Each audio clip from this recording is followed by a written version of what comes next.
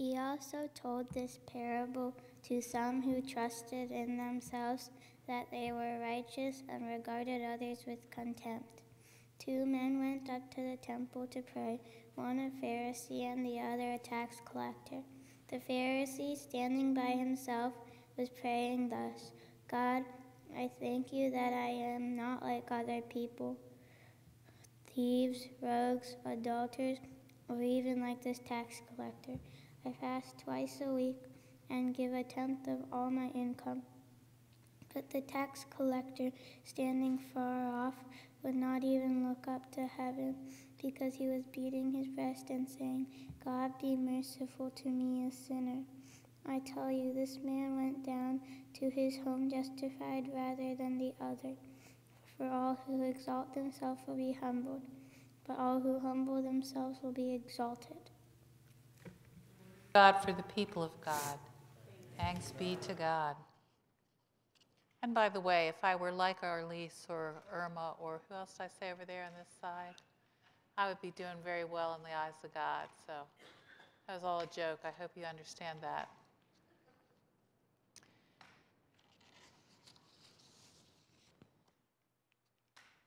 Pray her down those steps, everybody.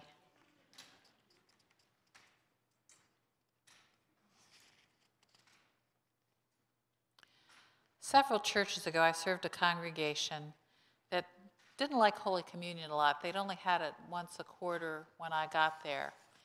And I said, We're going to have it once a month. And someone said to me, Are you going to force us to take communion once a month? I said, I'm never going to force anybody to take communion, but I'm going to celebrate it once a month. We got from there finally to celebrating it every Sunday. But before that happened, Palm Sunday happened to be a communion Sunday. And then I served on Easter, and they said, Well, we just had it last week. Why do we need it again? Oh, sigh. But on Palm Sunday, we had a cross in the front of the church. It was wood, it was plain. And I had given everyone in their bulletin a little piece of paper, and I said during the service, I want you to write down something that you know Jesus died to forgive. And I want you to bring it up and nail it to the cross. And the sound of nails being hammered into a cross is a holy thing, it's a sacred thing. And people were very moved by that. But at the end, there was a teenager who came up to me and handed me her sheet of paper and said, I didn't put anything on the cross. And I said, Why not? She said, Never did anything that bad. She said, I sat and thought and thought, I never did anything that bad. Jesus had to die for it. So says a teenager. Oh my goodness gracious. Now, later in the week, when we took those pieces of paper down after we draped the cross, I undraped it and some fell off. I didn't read them. One fell open, I thought, wow. Because some of people took it very seriously and put some things that were very serious on those pieces of paper.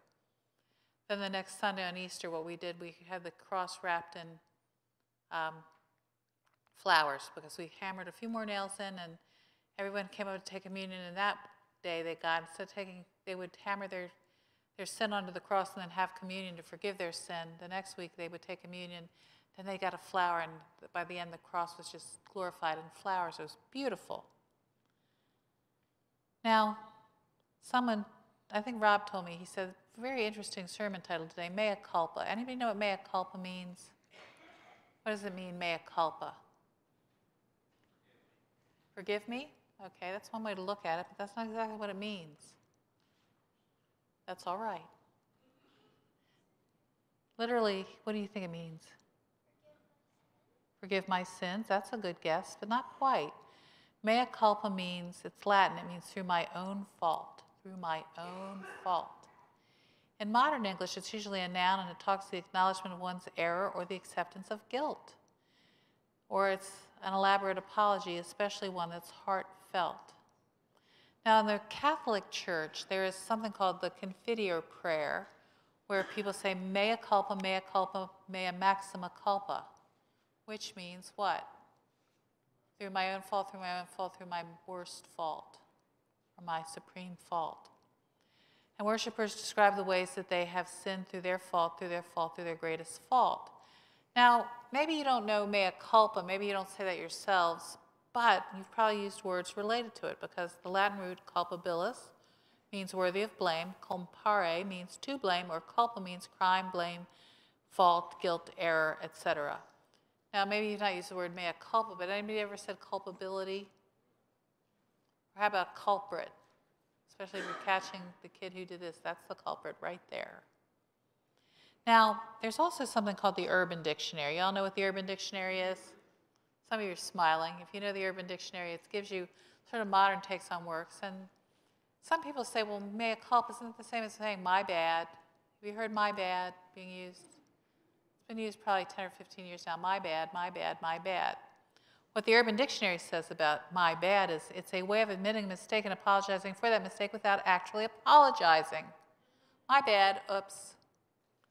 Or this is the best definition I've heard, it's paraphrased. I did something bad and I recognize that I did something bad, but there's nothing that can be done for it now. So there's technically no reason to apologize for that error. So let's just assume that I won't do it again, get over it, and move on with our lives. It's ruder than an apology or sort of a flippant apology, which is not at all what mea culpa is. Mea culpa comes from your heart. It's what the man did in the story that we read, who couldn't even lift his eyes to heaven. He beats his breast, mea culpa, mea culpa, mea culpa. Now back to Palm Sunday and my girl who said, I've never done anything that bad. She tends to think that God is grading on a curve, and she grew up to become a teacher, which is very interesting. You know grading on the curve is, right? Person with the best grade in the class, even if it's a lousy grade, gets the A, and everybody else sort of curves down from there. I got a 54 on my church history exam, curved out to a B. Most ridiculous test I ever took in my life. 40 short essays, and a matching section completely in Latin, which you didn't need to know before taking the class, but it's completely in Latin. And everybody sort of went to the dean's office with torches and pitchforks and said, "Oh," and she said she'll curve it. Teacher actually didn't stay at the school after that, but she curved it, and a 54 was a B. But does God grade on the curve? Let me ask you that. Does God grade on the curve? You sure about that, right? It's like as if the final judgment, and I believe there's going to be a final judgment, it's not a lineup, right? Because if I went to the final judgment, I'm standing with Adolf Hitler and maybe Stalin, Pol Pot, I'd look pretty good, right? Adolf Hitler personally was responsible through his policies in the Third Reich of exterminating, wiping from the face of the earth, between 11 and 16 million human beings. He wanted to eliminate them so he could have his master race. It wasn't just Jews. Who else did he kill? Else were part of that, that group?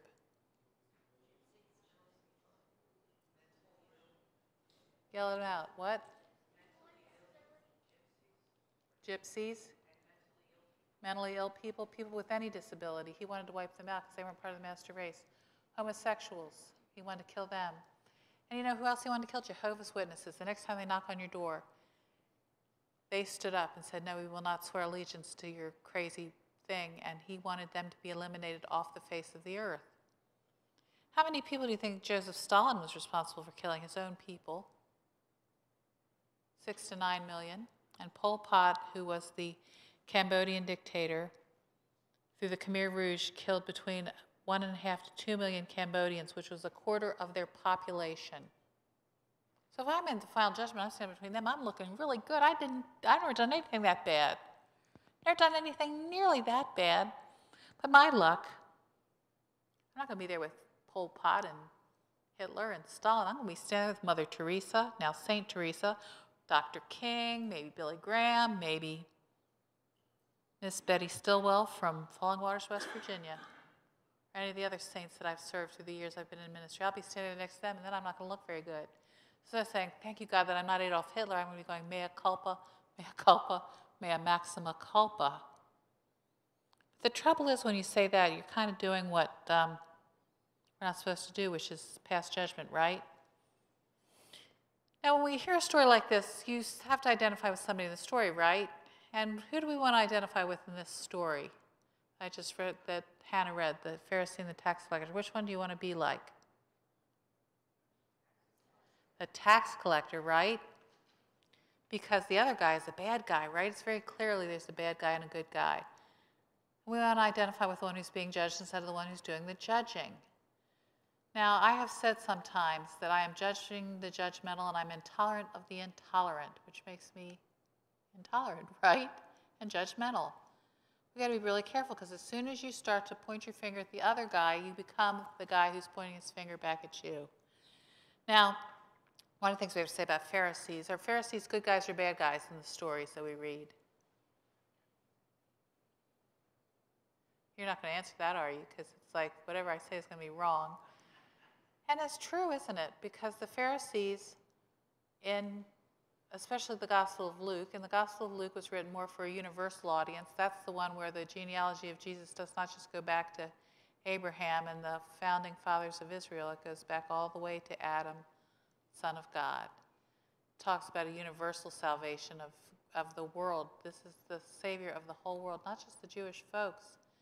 So there tends to be a way of looking at the Pharisees because of their legalism as they're the bad guys and everybody else is the good guy. But the Pharisees were the ones who observed the law. And what did the man say he does? I tithe. There ain't a pastor on this planet who's going to tell you you're a sinner if you're tithing, right? You're going to give 10% of your income to the church. We're going to say, well done, good and faithful servant. He does everything he's supposed to do. That's not a bad thing, is it? Trouble is, he does it while looking down on someone else. We have to be very careful because anti Semitism is back on the rise in this nation and across the world right now. There is nothing in the gospel of Jesus Christ that gives us any, any right to look down on Jews because our Lord and Savior Jesus Christ was Jewish. When I hear people saying things about Jews, and when I look at the, the, the riots at the Capitol on January 6th, there were people who had t shirts on that said, Six million was not enough. In the name of Jesus Christ, anyone who says anything anti Semitic is antithetical to the gospel of Christ. I'm telling you that right now. Christian nationalism. Here I am pointing my finger at them. But we're not a Christian nation. To be a Christian is not to be an American. To be an American is not to be a Christian. And the same things that we look down on that come out of Islamic republics are what people want to create in the United States to say we need to be a Christian nation which means we need to subjugate Jews. That is something that is growing in this nation. We've got to say no to that in the name of Jesus Christ as well. But the Pharisee is not the bad guy here in the way he's living his life because he's trying to do what God wants him to do. Except God doesn't want him pointing his finger at somebody else, does he? He wants him instead to say, what the other man says, Lord, have mercy on me, a sinner, because we're all sinners in need of grace. We all stand judged before God. Because it's not, it's not a contest between us and anyone else. The bar is Jesus Christ. That's who sets the bar. Now, if I go to the final judgment and I'm with Hitler, I look good. If I go with Mother Teresa, I don't look so good. But it's not, I'm not being compared to Mother Teresa or Hitler. I'm being compared to Jesus Christ. And I have fallen way short of that goal. I read a book this week by a Jesuit priest named Father Greg Boyle. Anybody familiar with Greg Boyle? He started Homeboy Industries in California. He works with gang members. He works with people who are really broken in their lives. He has done over 200 funerals for young men and women who have been shot to death in the street fighting other gangs. He's got a tremendous ministry.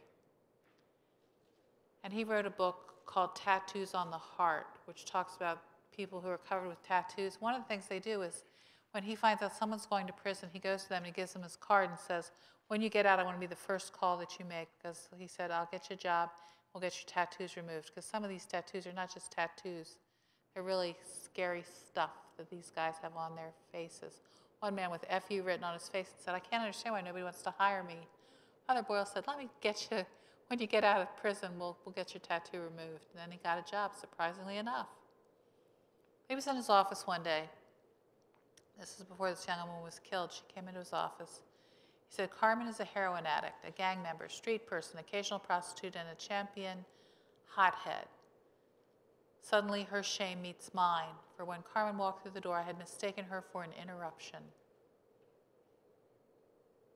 because he looks at her and he sees prostitute and all these other things. And this is a man who's very busy, and he's got this woman coming into his office to complain, and she sat there and cried and said that I have been a horrible person, wasted my life. Then he writes something where we stand in all our mistakes and imperfection is holy ground. It is where God has chosen to be intimate with us and not any way but this. And then he asks the question how much greater is the God we have than the one we think we have? Amen to that. How much greater is the God we have than the one we think we have? Because we look down on people, don't we? If somebody is a prostitute who's dealing drugs, who's used drugs, we're not going to say that that's a good way to live, are we? And he goes into a discussion of what shame is versus guilt. Guilt is being sorrowful for your actions, shame is being sorrowful for who you are. And we make a lot of people feel shame, don't we, by the way we treat them and exclude them from our fellowships.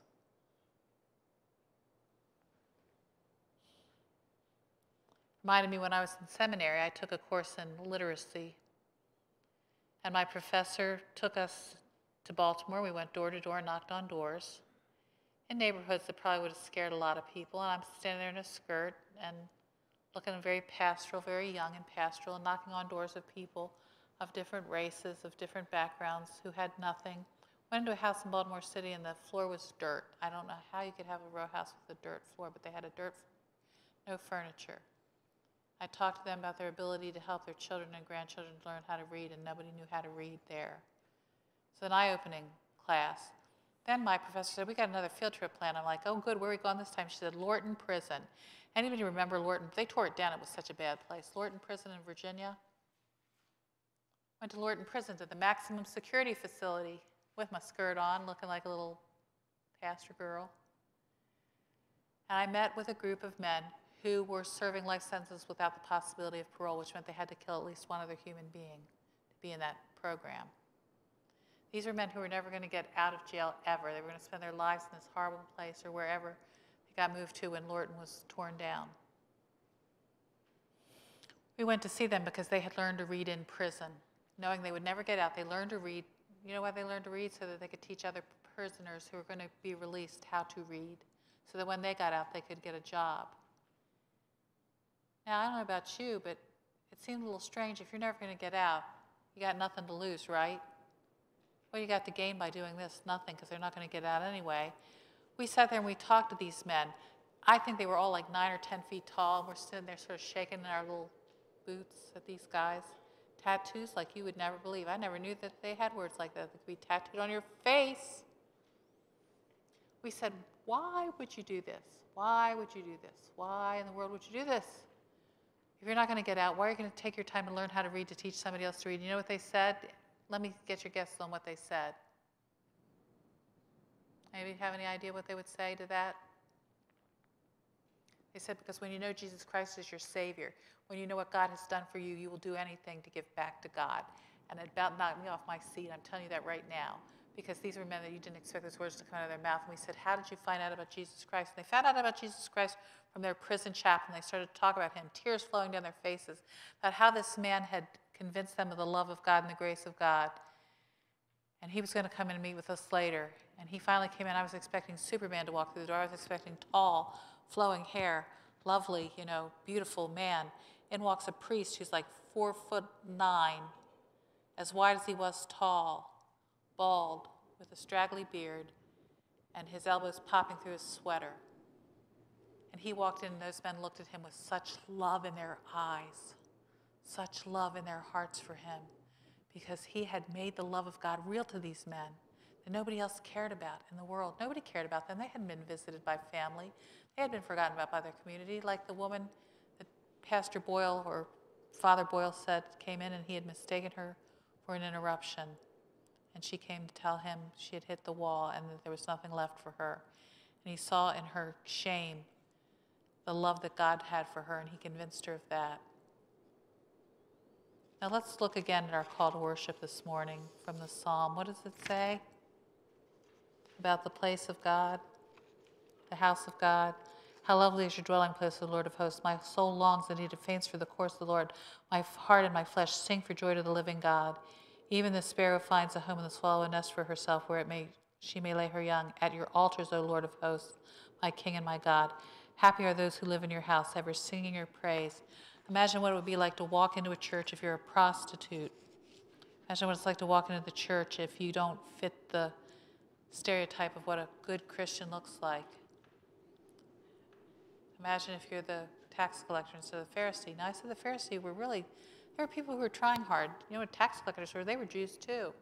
They were Jews who had colluded with Rome and took advantage of their own people. They cheated and they stole from others. Nobody liked a tax collector. Well, who is the one that went home made righteous before God? Who is the one who justified before God? Justified, atoned with God. Was the one who went to God, not on his righteousness, but on his knees, and he beat his breast and he said, Have mercy on me, a sinner.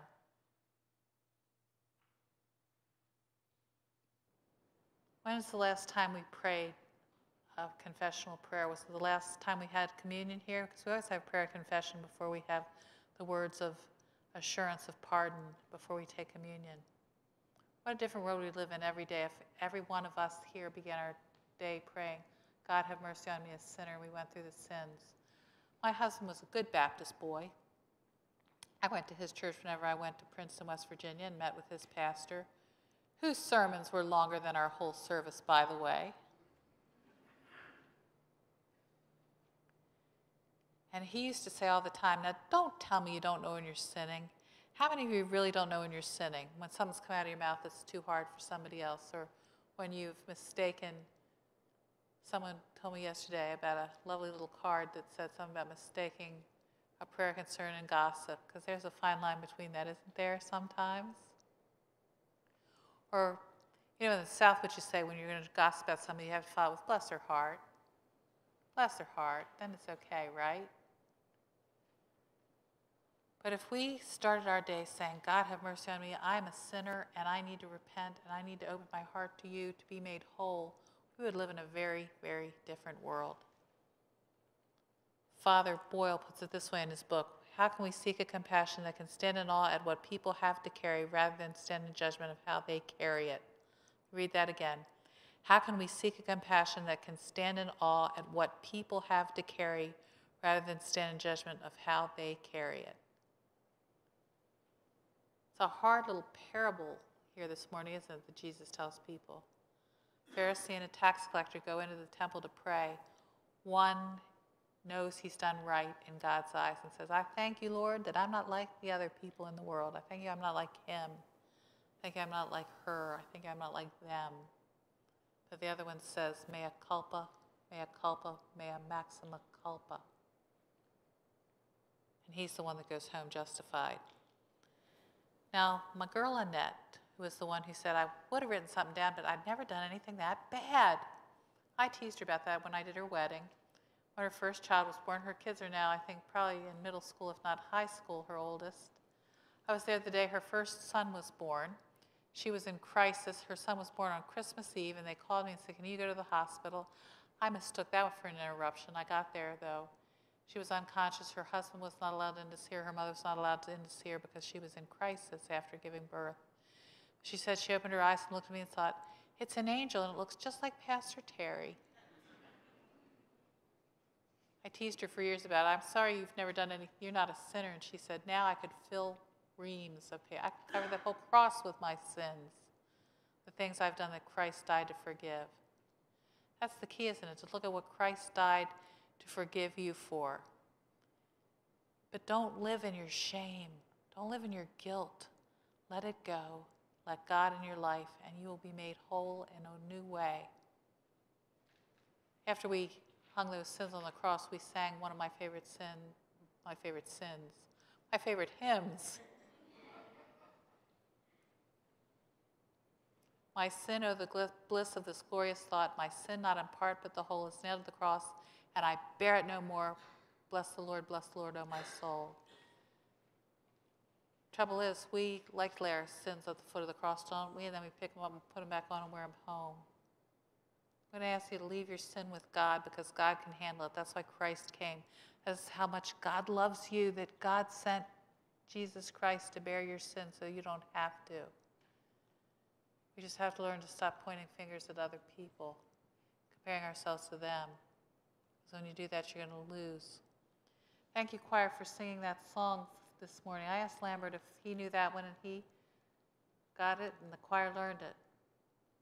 Amazing grace shall always be my song of praise, for it was grace that bought my liberty. I do not know just why he came to love me so. He looked beyond my fault and saw my need. I will forever lift mine eyes to Calvary to view the cross where Jesus died for me. How marvelous the grace that caught my falling soul. He looked beyond my fault and saw my need. That is who God is in Jesus Christ. That is who God is in Jesus Christ. That is who God is in Jesus Christ. Thanks be to God. Amen, amen, amen. Invite you now to stay.